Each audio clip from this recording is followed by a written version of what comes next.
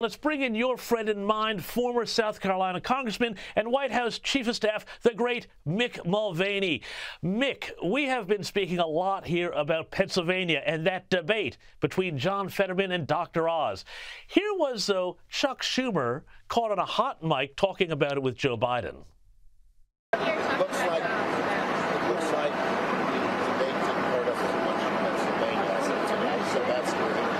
And we're basically we're, we're picking up steam from that. Mick, did Chuck Schumer watch the same debate the rest of us did? Yeah, keep mind. Hey, James, it's great to see you again. Uh, keep in mind a couple of things. First of all, I think you cut off the beginning of that where I actually said, and we got really, really behind in this other race. And the fact that he's admitting to the president they're behind in any race is just kind of surprising. My guess is they're just telling Biden what he needs to hear. Biden is really not engaged. He's trying really hard, but as, as you've shown previously on this show, he's not.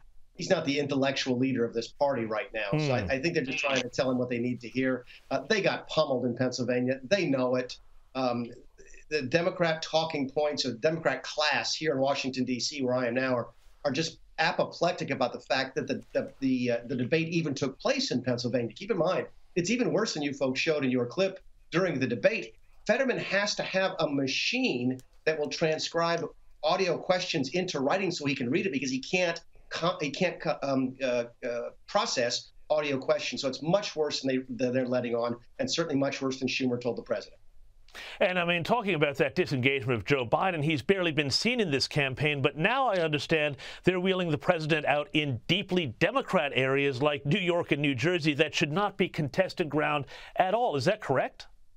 Yeah, this and this is really stunning. This is the, the news that I don't think nearly enough people are talking about. He was in Portland, Oregon last week. He doesn't get any more Democrat than Portland, Oregon. He's in New York and New Jersey trying to help members of Congress whose district he won by 20 points in some circumstances. So the Democrats are just bleeding votes in California, New York, and New Jersey. I talked to my good friend Lee Zeldin. We served in Congress together just today, and he thinks he actually has a chance to win the governor's race in New York as a Republican. So the wheels are really starting to come off. Granted, it's still 10 or 11 days, uh, depending on what side of the date line you're on, until the election. Um, but all signs are sort of pointing against the Democrats at this point, and they are running much more uh, scared than what uh, Schumer led on to the president in that clip.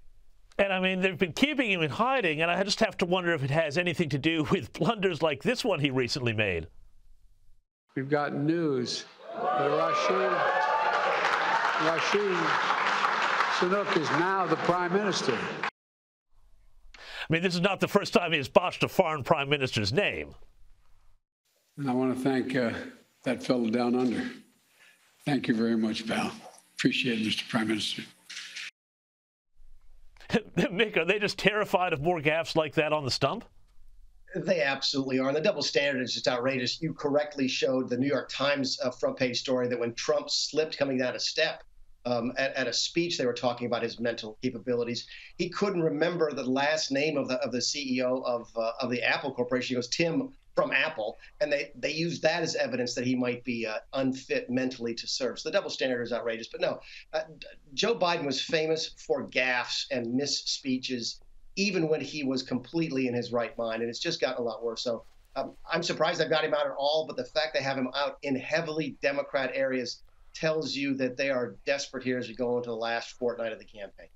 And finally, just quickly, let's talk about that other Biden, Hunter Biden, and bank records that have been revealed showing that he may have been compromised by Chinese intelligence. I mean, surely, are we even surprised by this anymore?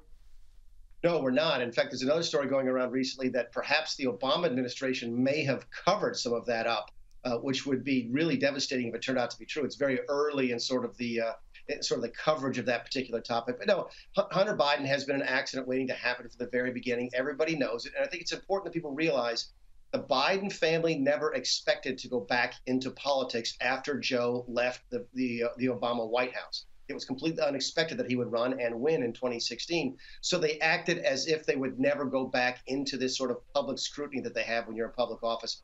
And it's starting to show right now. My guess is that Hunter Biden's in a lot of trouble, and it's certainly not going to help his dad in the second half of his uh, of his first term.